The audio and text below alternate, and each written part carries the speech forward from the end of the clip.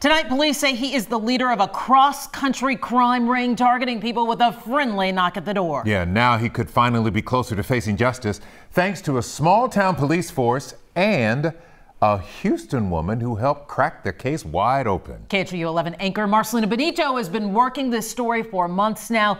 He and photojournalist Cesar Nunez have the exclusive story that stretched from Texas all the way to Pennsylvania. We've all heard it an unsuspecting knock on the door. But this one changed everything for Houston's Kelly Raybon. The knock came quickly boom, boom, boom, boom, boom, boom. The man at her door wanted to trim trees on behalf of a back neighbor. Did you like him?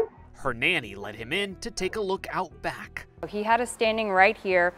Nothing seemed odd. He was a fast talker and he just kept us occupied. It was only five minutes, just five minutes. Until the very next bang.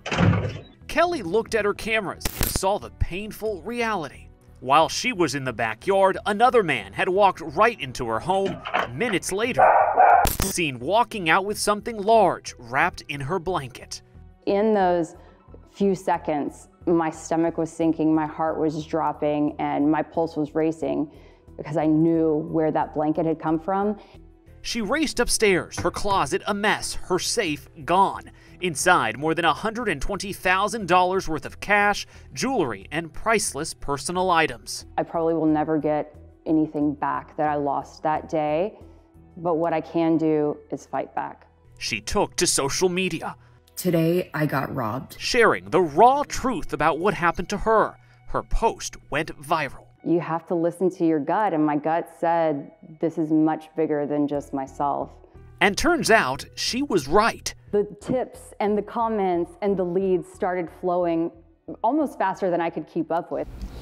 All of a sudden, her inbox flooded with stories from other victims, 15 to 18 in Texas alone. They sent her surveillance videos showing the same guy pulling the same tree trimming ruse while another man breaks into the house. In this video, just feet away from an unsuspecting homeowner. These guys were so smooth, they were so slick. This operation was so well oiled, there's no way that I was the only victim. The influencer turned sleuth started connecting the dots and shared what she learned with police. I created a spreadsheet full of victims and case numbers and contact information and the departments that they were working with and their addresses, what was stolen. A month after the knock on her door, a major break not in Houston, but 1,300 miles away outside Pittsburgh. Our reporting brought us to Penn Township, Pennsylvania. We rode along as Chief John Otto showed us where an alarm was triggered at Hamel Manufacturing. This pickup truck spotted leaving the scene with $120,000 worth of stolen military grade metal in the back. Officer Doug Lewis pulled them over. Well, you could tell they're very nervous. In the middle of that traffic stop, this 911 call came in. The Speedway? There's a guy with a gun? You said the Speedway? Yes, there's a guy with a gun. And he has to tell, and he threatened me that he was going to shoot the gun. That 911 phone call is being made by the suspects. The point of the 911 call was intended to divert resources from the area where the theft of metals was taking place and divert them to a fictitious crime three miles down the road. The ruse didn't work. And that officer wasn't really buying what they were selling.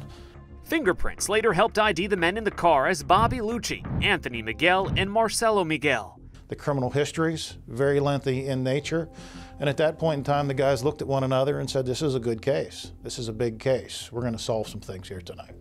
But it's Lucci that has law enforcement across the country, including HPD, calling Penn Township. Sources tell us Lucci is the same man seen breaking into Kelly Raybon's home. As soon as I saw his face, I knew that was him. No doubt. No doubt.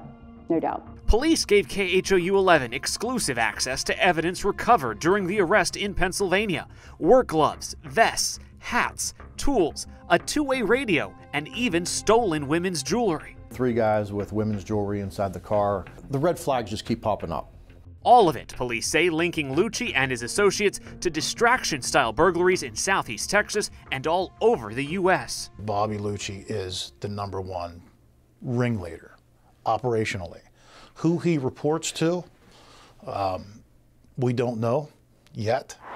What's clear is this crime ring moves.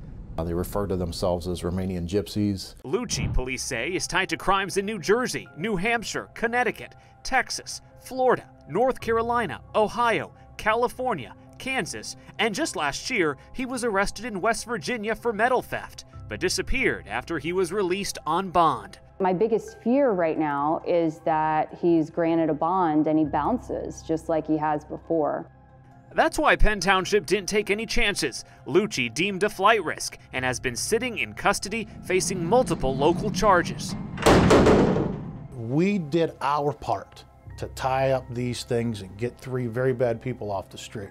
Back home in Houston, I'm amazed that we've been able to get this far. Raybon says there's still more work to do.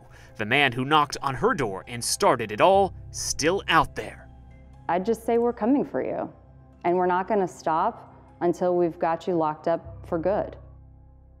Early this morning, Lucci had another hearing before a judge in Pennsylvania, and again, he was denied bond, and that comes as a huge relief for Kelly. Uh, I wonder, Marcelino, was any of Kelly's stolen property found? Well, let Mia unfortunately no. The jewelry found in that truck has only been traced back to a case in Connecticut, but this remains still a very active investigation. So she's still waiting. She's still waiting. So, what is next with this case, Marcelino? Well, guys, multiple agencies want to get their hands on Lucci. They filed warrants, including HPD, but he's wanted across so many states, this could very well end up being a federal case. Yeah, heavily involved. Thanks for staying on top of it, Marcelino. Yeah.